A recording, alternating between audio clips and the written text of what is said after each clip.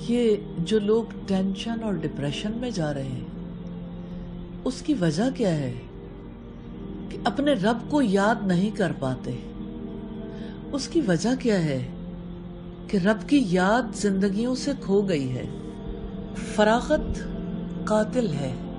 और आप देखिए कि फारिग इंसान पर शैतान कब्जा कर लेता है।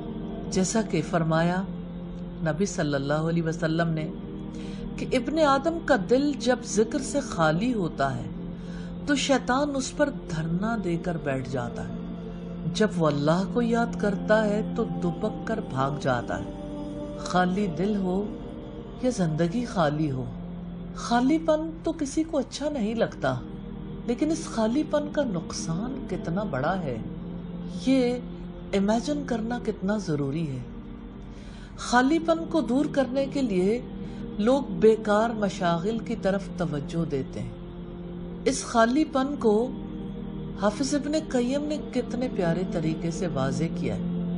वो अलवाबिल सैयब में लिखते हैं कि जैसे इंसान के पेट को फाका लाक होता है, यानी मैदा खाली हो जाता है, इंसान को भूख लग जाती है ना? ऐसे ही हर इंसान को एक ऐसा फाका लाक हो जाता है जिसको अल्लाह की याद के सिवा कोई चीज़ पुर नहीं कर सकती। आज की दुनिया में सभी इस खालीपन का शिकार हैं। ये जो लोग टेंशन और डिप्रेशन में जा रहे हैं, उसकी वजह क्या है कि अपने रब को याद नहीं कर पाते? उसकी वजह क्या है कि रब की याद जिंदगियों से खो गई है? तो अपने रब की याद से अपनी जिंदगियों को पुरौनक बनाना है।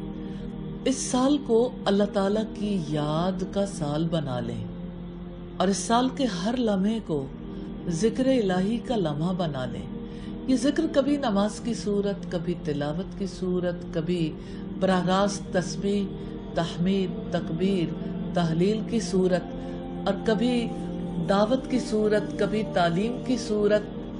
यानी हर एक तरीका अल्लाह ताला की याद का तरीका बन जाए। अल्लाह ताला हम सबको तौफीक अता फरमाए।